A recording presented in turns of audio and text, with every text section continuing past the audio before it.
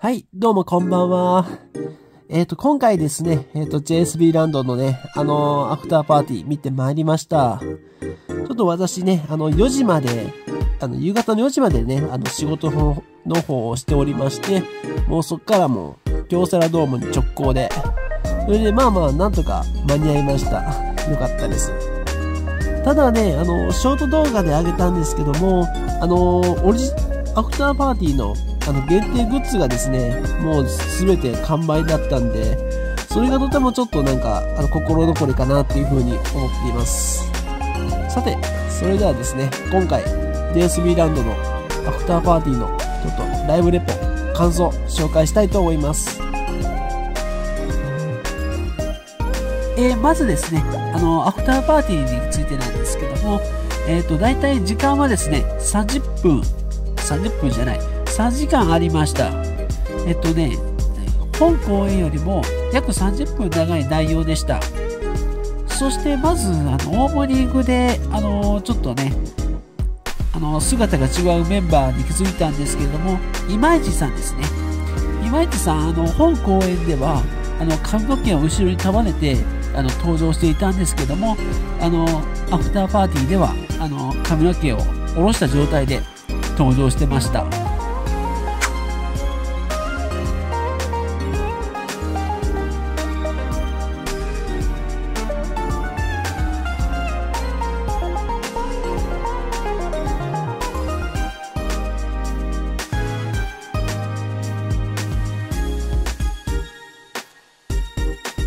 えー、まずね、あの、かくれんぼのコーナーから始まったんですけど、あのー、鬼役が、えっ、と、直樹さんと、今市さんと、エリーさんだったんですよね。ほんで、あの、隠れる役が、あの、岩田さんと、鬼さんと、直樹さんと3人。そしてね、あのー制限時間もありまして、あの、待ってる間に、あの、3人が隠れるんですけど、岩田さんがですね、隠れた場所が、あの、車椅子の乗られてる方の台の下にこっそり隠れたんですよ。その隙間にね、その床と台の間に潜り込んで。そして、直人さんが、直人さんはまたなかなかトリッキーで、こう、一般客の男性のジャケットと自分のジャケットとサングラスを交換して、で、カメラマンに扮してるっていう状態でしたね。なかなか面白いことやってましたね。そして、オビさんがですね、オビさんもなかなか面白くって、こう、ゲートとかに係員がいるじゃないですか。それと同じような服装で、ほんで、同じように、あの、後ろ向きで立っていて、もう後ろがもう見てたら何とも言えないシュールなんですけど、そして、あの、いざ、あの、鬼がスタートしました。で、あの、エリーさんと今市さんは、あの、スタンドの方に上がっていくんですけども、あの、直樹さんだけ動きがまたちょっと違っていまして、直樹さんは、このアリーナのところからスタンドをこう見上げて、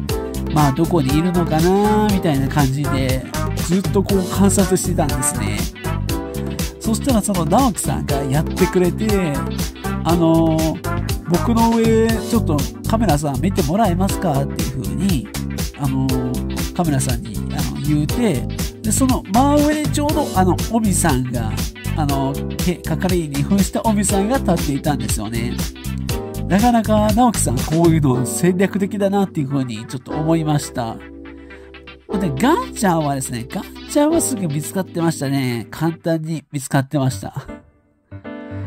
んで、直人さんは、あの、ちょっとね、あのなかなかね、ちょっと引っ掛けがありまして、エリーさんもこの、一般客の、あのー方が、あの、直人さんの衣装を着ていたんですけど、あの、思いっきり騙されてましたね。それで、鬼チームが勝ちましたね。あの、直樹さんが所属する。面白かったですね。なかなかこれも。